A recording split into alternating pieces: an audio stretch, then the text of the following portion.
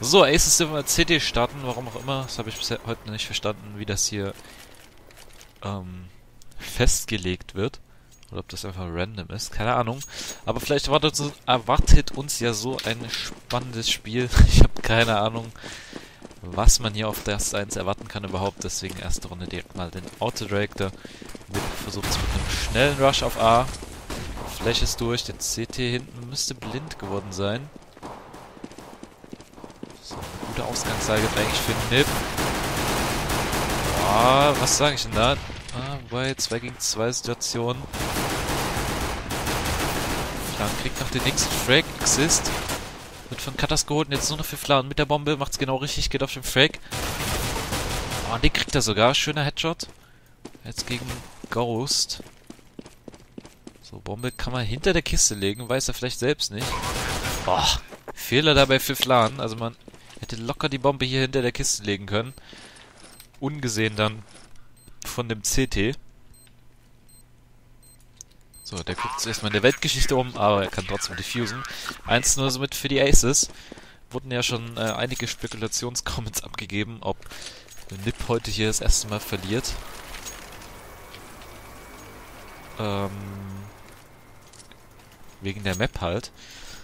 Ich bin gespannt, aber ich habe vorhin schon im ersten Spiel gesagt, VP gegen AL, dass es eigentlich ein sehr skilllastiges Spiel werden wird und Nip dort wohl keine Probleme haben wird, Aces irgendwie äh, zu out-aimen. Aber ich lasse mich natürlich gerne eines Besseren belehren. Zumal Aces bisher auch schon mal ein Draw gegen Nip erspielen konnte. Was da los war, keine Ahnung.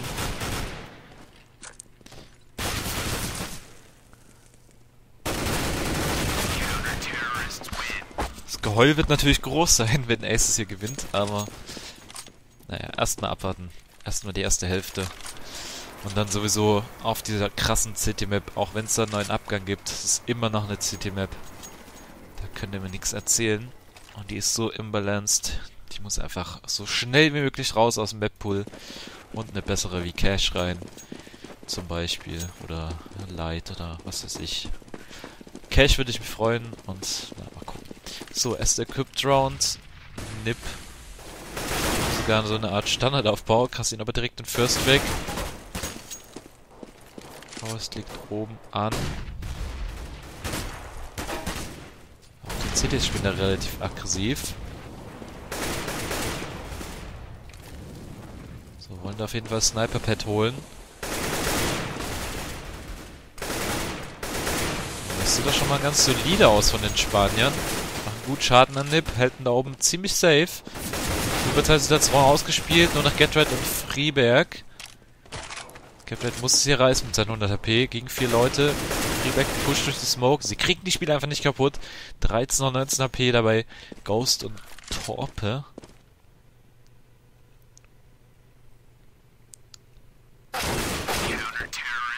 So, da ist die erste Equip schon mal an die Spanier.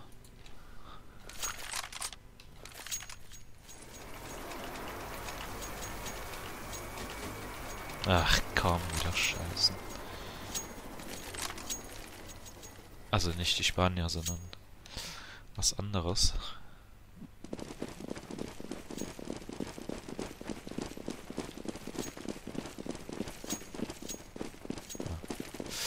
GG, der Tick-Off-Rhythmus ist noch kaputt, also nicht wundern, dass dort kein Ergebnis steht. So, nochmal eine Eco bei Nip. Forest letzter Mann. Also das 4-0.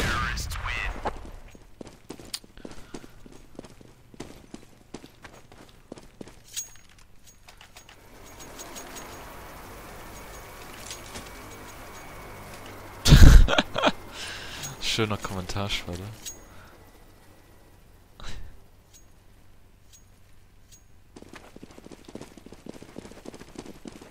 Äh, Quali wieder schlecht, keine Ahnung. Ja, ich habe auf jeden Fall die Bitrate runtergesetzt. Aber diese Woche es endlich die Capture Card und dann geht's richtig ab. Aber bis dahin muss uns noch mit, muss ich mich noch mit dem begnügen, was ich hier habe. Mal schauen, wie ich das dann alles einstellen kann. Aber dazu mehr, wenn es soweit ist. Der kassiert wieder die guten Shots am Anfang.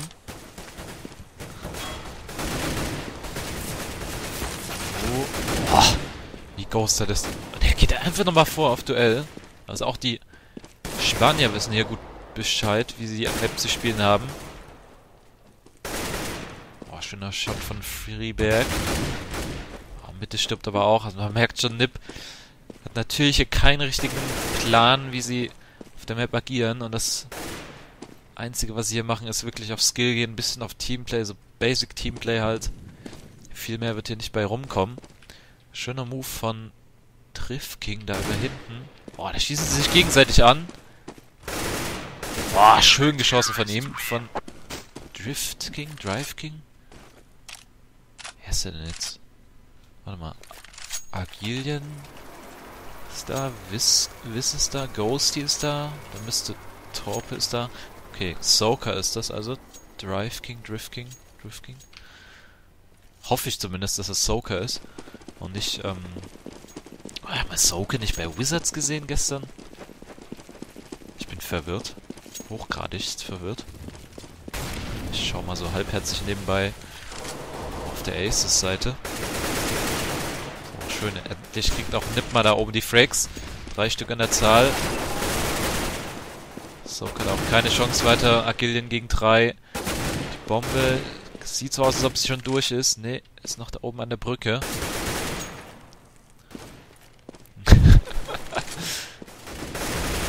ah, Rieberger nicht so ganz gut geschossen, aber da ist es die erste Equipped Round für Nip. So, was haben wir denn hier?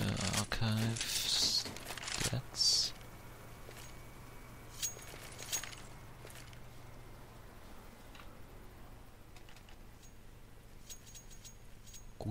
Gut unübersichtlich die Seite. Jetzt haben wir nicht mal eine Teamseite hier, oder was?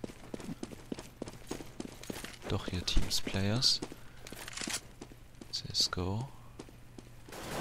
Torpe, Agilian, Ghosty, Wiss. Doch, das ist ein neuer. Der heißt Drift King. Also sorry, dass ich ihn gerade Soaker genannt habe. Spanier übrigens mit Eco. Nochmal zwei Waffen stibitzen. Aber Nip hat jetzt natürlich leichtes Spiel, da einfach auf B zu gehen.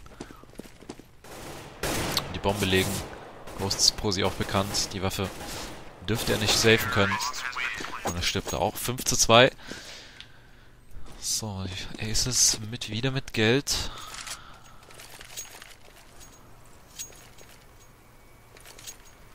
Dann wird Soka wahrscheinlich zu den Wizards gewechselt sein. Okay. Nun gut.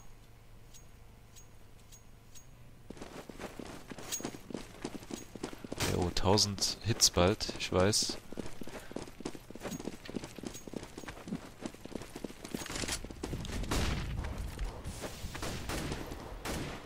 So, ich hoffe, ihr verzeiht, dass ich hier viel mit Autoreactor arbeite, aber ich glaube, das ist schon gut so.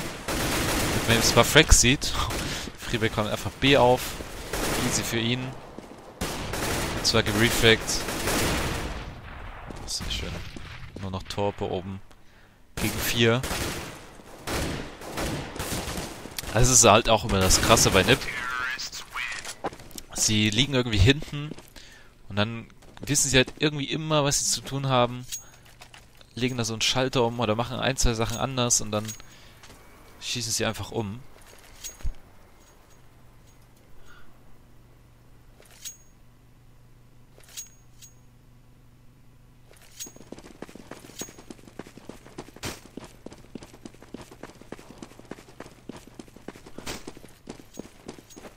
So an die Overview gewöhnen hier. Einige Spiele werde ich ja schon casten auf der Map. Unter anderem, unter anderem Morgen Maus gegen äh, ESC und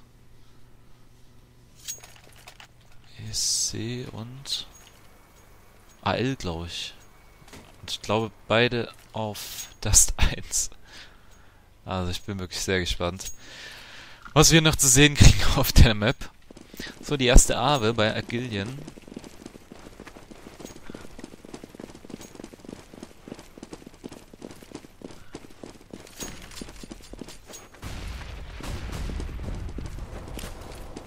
So, aber Lip geht wieder hinten raus am Antipad. Geben da schon gut Gas. Aces trauen sich jetzt aber nicht mehr so viel. Stehen da viel defensiver. Vorhin standen sie am Sniper-Pad, aber das, das kommen auch richtig viel Granaten von Nip. Oh, da boosten sie sich nochmal hoch. Nett. Nette Idee. So, Getrade macht da immer allein Cutters, glaube ich. Also ich würde den Aces empfehlen. Ich meine, sie wissen doch eigentlich, dass unten... Oh, dass unten alle aufbauen und eigentlich nur einer bis zwei Cutters sind. Deswegen könnten sie einfach Cutters einnehmen. Haben sie, glaube ich, auch gerade gemacht, aber halt relativ spät. Ich würde es mir am Anfang wünschen, dass sie da Get Right komplett zurückdrängen. Und dann müssen sie sich eigentlich nur noch auf eine Sache konzentrieren. So, wir planen gegen drei. Ach, aber Drift gegen... Hat er einfach den... Hat er einfach easy den Shot hier an dem Schlitz. Ich kriege ihn gar nicht richtig hin. Er ist zu weit strafed. So, 6 zu 4. Aber 4 T-Runden. Davon waren 2 Ecos. Ah, mal gucken. Ich predikte einfach mal, dass Nip keine einzige CD-Runde abgibt. Wobei, vielleicht die Pistole, wer weiß. So, Aces spinnen das aber nicht so, wie ich es mir wünschen würde. Mal schauen, was Torpe da macht. Diesmal blocken sie wieder ein bisschen aggressiver. Boah, schön fokussiert von Forest. Direkt auch die AEs oben zum... Äh... Na, zum Sniper-Pad. Jetzt kommt die Smoke. Boah, schöner Schuss. Der war sogar durch die Smoke. Oder er hat ihn noch kurzzeitig gesehen. Ghost kriegt auch die Hits. Boah, jetzt sterben sie aber auch alle einzeln. Also am Anfang haben sie das viel, viel, viel besser gehandelt, wo sie aggressiver standen wo sie selbst irgendwie Granaten geworfen haben. Jetzt lassen sie die Ts einfach nur noch kommen. Und die raffen natürlich auch langsam, wo sie hin-aimen müssen, wo sie pre-aimen müssen.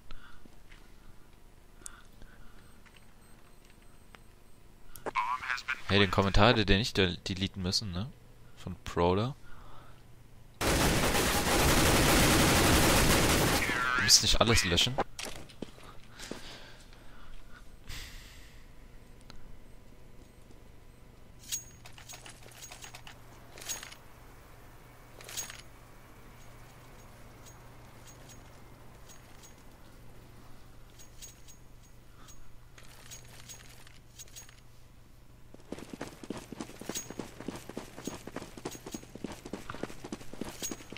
So, leider noch ein Echo bei Aces. Dann heißt es schon 6-6.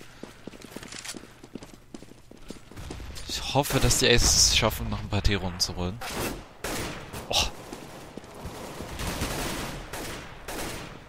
Stein bei vorbeilaufen.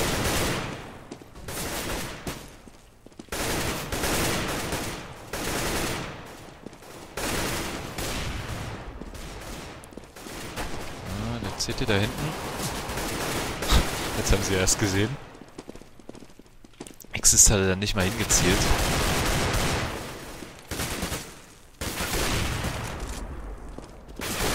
Schöner Mini-Step da am Anfang von Ghost. Tja, 6-6. Nip wird sich wahrscheinlich ja auch noch die Führung holen. Aber vielleicht stellen Ace ja wieder was um. Wie gesagt, also ich finde, sie sollten oben vielleicht einfach Cutters einnehmen oder halt unten mal wieder mit Granaten agieren. Einfach gegenflächen die ganze Zeit. Nip gar nicht so weit vorkommen lassen. So, zwei Cutters, zwei unten. Da gibt es die erste Flash. Ghost können natürlich auch mal wieder schräge runtergehen. Aber sie spielen es immer, immer defensiver. Und das spielt meiner Meinung nach Nip zu sehr in die Karten. Wo steht der hier? Boah, What? Steht CT-Base? Da, hier steht er. CT-Base. What the fuck? Also wie gesagt, sie, anstatt offensiver Cutters zu spielen zum Beispiel, spielen sie es defensiver überall. Jetzt bin ich gespannt, ob das aufgeht. Also sie lassen es ja komplett vorkommen jetzt hier. Also bin ich gespannt. A wäre eigentlich eine gute Möglichkeit. Boah. Freeback, der Getch hat den First Track gemacht, hat noch kaum Hits bekommen. Ich so keine. So, dort ist gut abgesmoked von Nip. Und da war eigentlich nur einer AB, das ist Agilien. Dessen Pose ist auch bekannt. Kann da auch keinen mehr setzen. Jetzt ist die Runde eigentlich fast wieder verloren. Einer war da, glaube ich, sogar noch am Steg hinten. Forest, keine Chance da. Die Spanier, schöne Flex von ihm. 7 zu 6. Also sie wählen meiner Meinung nach das falsche Mittel. Lassen sich viel zu sehr beeindrucken von Nip. Am Anfang hat es so gut geklappt und sie ziehen irgendwie die falschen Schlüssel draus.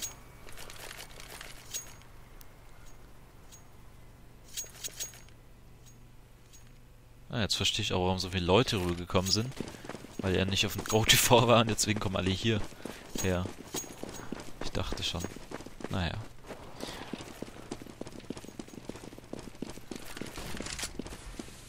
Aber Werbung rein schnell.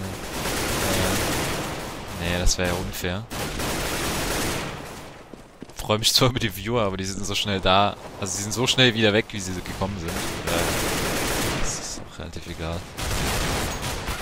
Ich könnte jetzt eigentlich auch alle beleidigen. So mit ihr. Ihr seid alle scheiße, scheiß Ausländer und so weiter. Versteht mich ja eh keiner. So, pass auf, jetzt ist Rix back auf dem Stream. Jetzt gehen die Zahlen wahrscheinlich instant wieder runter.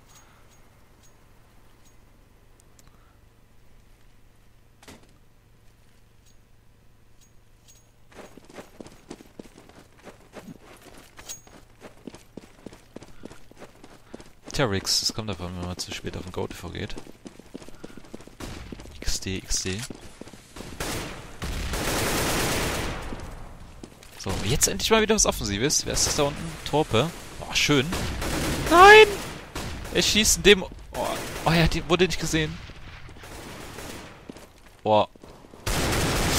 Oh, und Forrest hat da aufgepasst oder hat er irgendwie den Schuss doch noch mitbekommen. Aber der Rest stirbt halt einfach. Und Driftking guckt da nicht mal nach rechts. Eieiei, 6... Oh, 9-6. Und das als Terror. Wenn das mal dieses Todesurteil ist.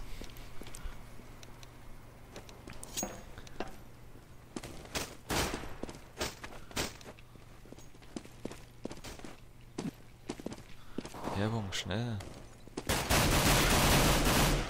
Ihr wollt's ja so. Ist sogar eine down. Also ihr verpasst nicht mal was. Auch wenn mich die, die Werbung haben jetzt eh nicht hören. Aber einer ist eh ausgetimt.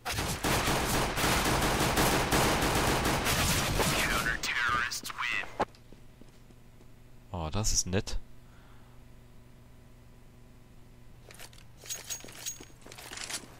Extra für mich Adblock ausgemacht. So wollen wir das haben. Wie, wie er wirklich nach Werbung schreit? Gut, dann halt noch eine.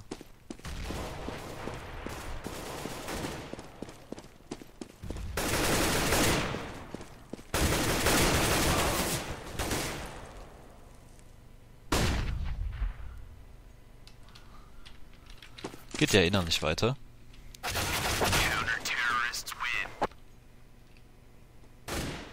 Siehste? Siehste? Hab ich doch gesagt.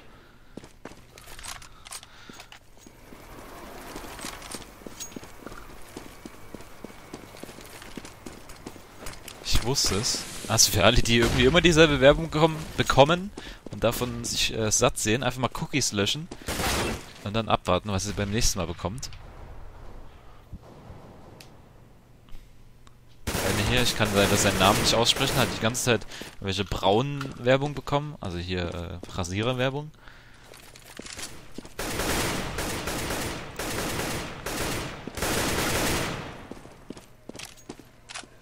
Ob ich kiffe? Nö.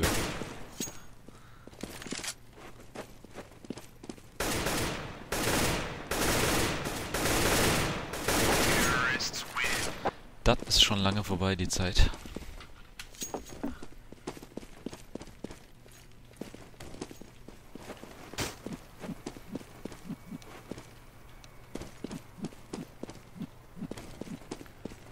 12, das ist Dust 1. Dust 1 SE, um genau zu sein.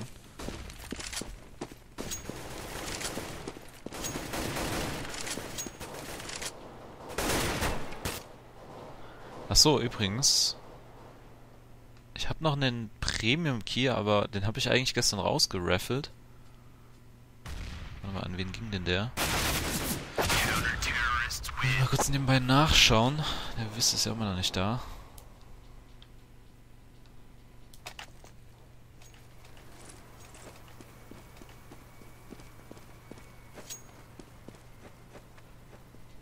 Cent bringt ein KW bei einer Werbung?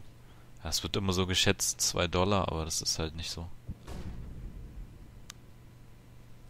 Also es ist halt eh random.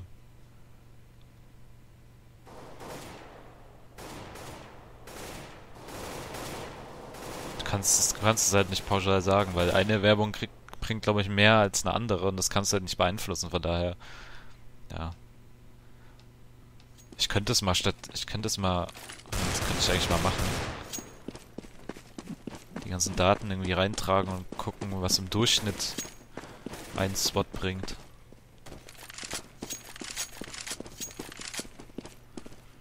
So, äh, was wollte ich tun? Stimmt, noch eine Werbung.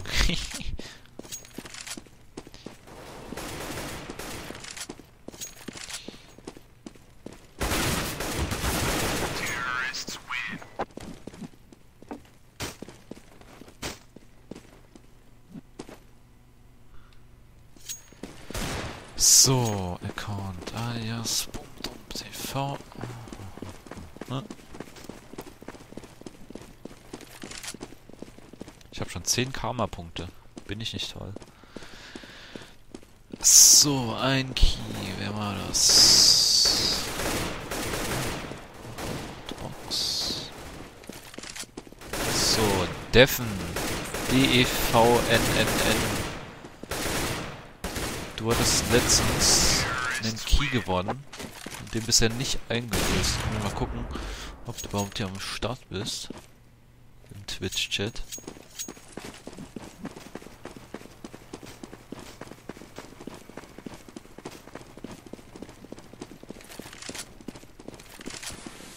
Dürfen, dürfen, dürfen. Ne, ist leider nicht da.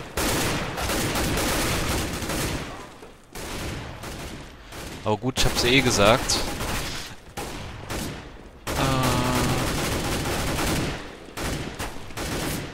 Einen Tag Zeit. So, viel Spaß mit dem ECA Key. Während sie erst einlöst, löst, der kommt zuerst.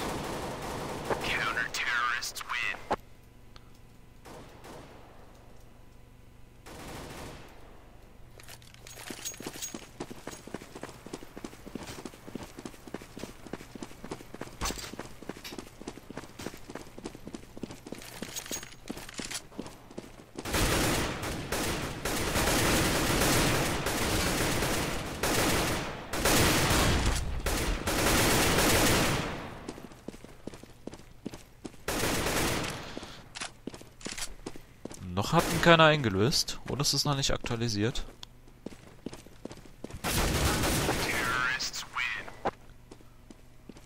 Immer noch keiner. Also ran an den Speck.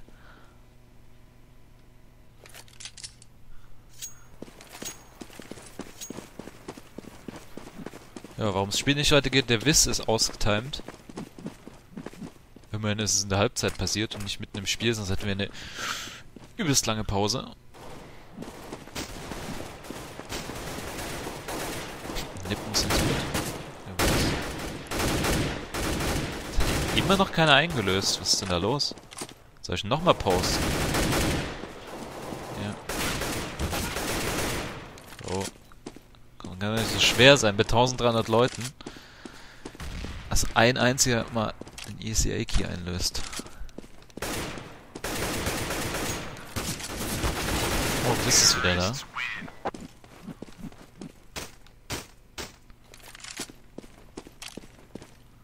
Immer noch nicht. Oder wie gesagt, keine Ahnung, ob sich äh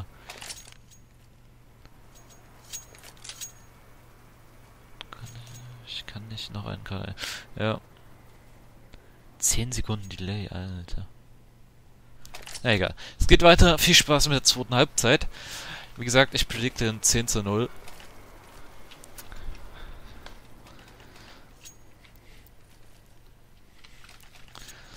Aber vielleicht sind die Spanier urkrass als T.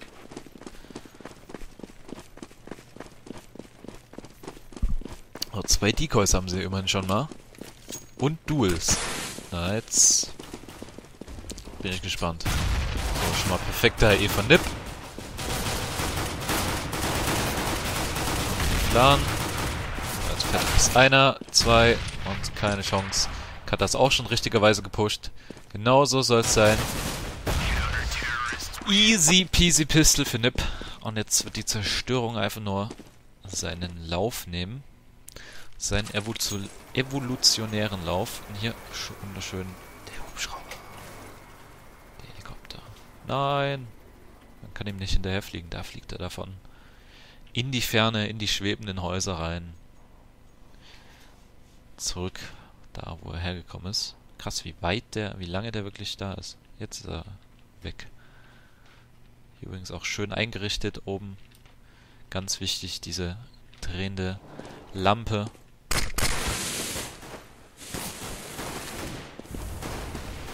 Get Right, einmal sprühen bitte.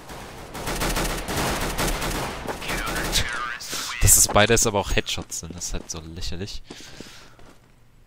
So, endlich. Key wurde eingelöst, Graz an RBNTR. Wer auch immer das ist. Ich hoffe, du wirst danach auch weiterhin Easy Premium kaufen, damit ich schön Kohle scheffel.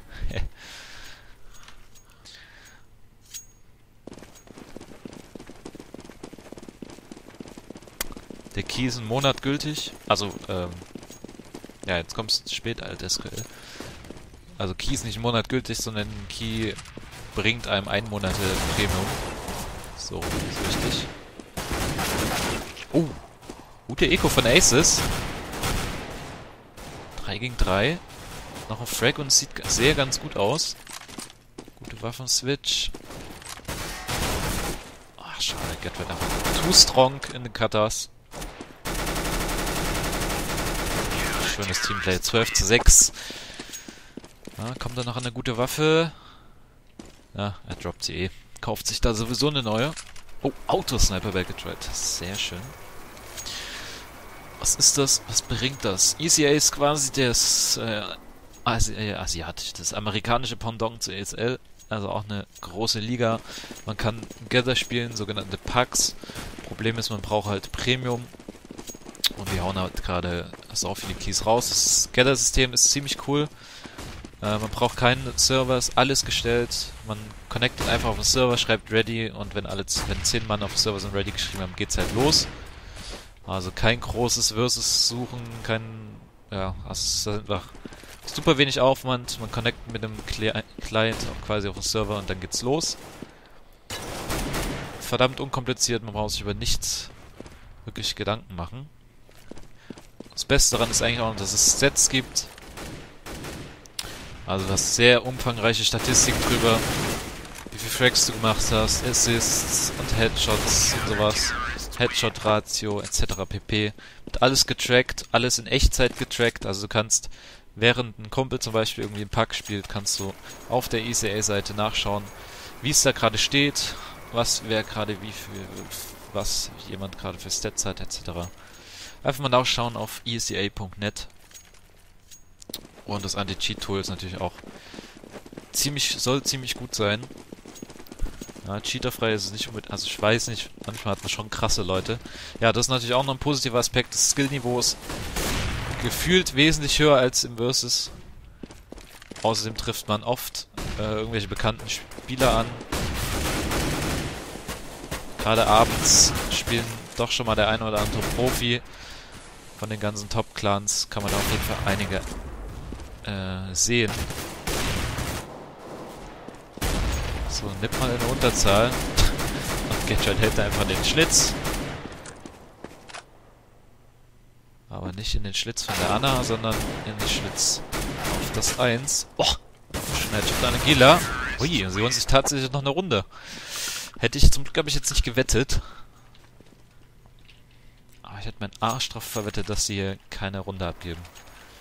Aber sie werden eh ein bisschen daddeln.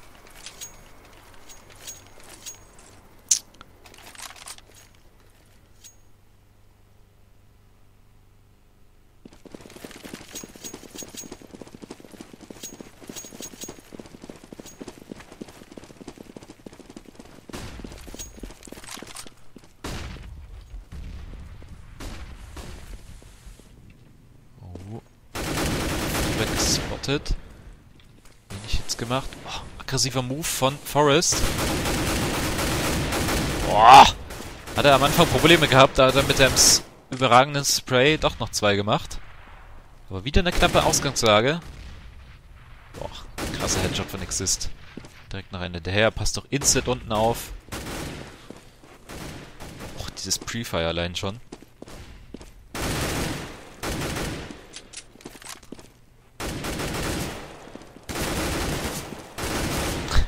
Gegast wird. Ah, jetzt haben sie aber schon Probleme. Und auch Getright zur Hilfe. Keine Chance. So, jetzt werden die Spanier wahrscheinlich auch sparen müssen. Wobei drei Leute könnten kaufen.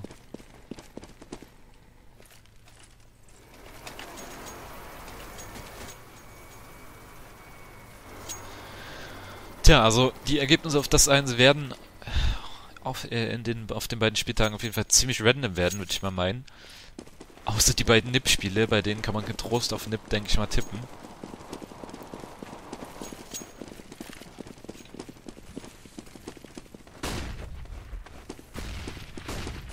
Forest wieder mit Gas. Passt allerdings in der Smoke nicht auf. Oh, wie lange er da ist. Alter. Dieser kleine Troll einfach, der Wald. Beim letzten hat er zwar ein bisschen Probleme, aber die Probleme reichen halt noch lange nicht, um da gekillt zu werden.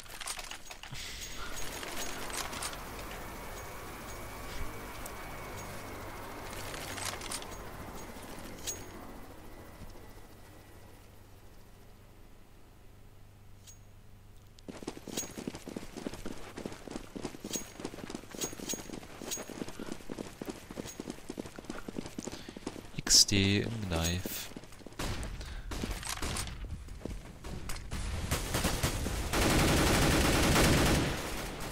Der schöne Smoke. Vielleicht hält er einfach die ganze Zeit rein. Das Forest. Oh, sehr schön. Wieder zwei Opening Frags. Oh, jetzt ist gute Pose. Da sagst du in den Spanier schon mal. Oh, Überzahl. trotzdem noch extrem ekelhaft.